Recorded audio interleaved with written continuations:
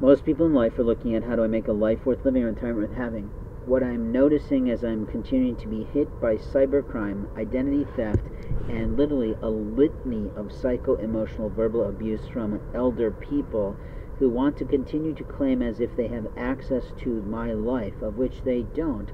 is that my email account for my own personal life has been abused by someone technologically, and thousands of emails are now missing. I literally only have 500 and some left in the box when there literally should be thousands of them. What I'm also noticing is relationship aspects of something that was rather important at one time in my business are now completely missing. All I can presume is that ugly siblings of a past life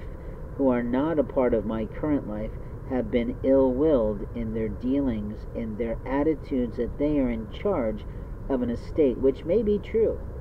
but at the same time they do not have the right to deny a man his rights to know where his mother is going to be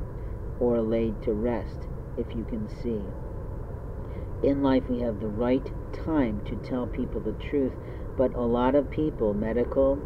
law enforcement, and family members, always like to attack right before someone goes to the past moments of our life.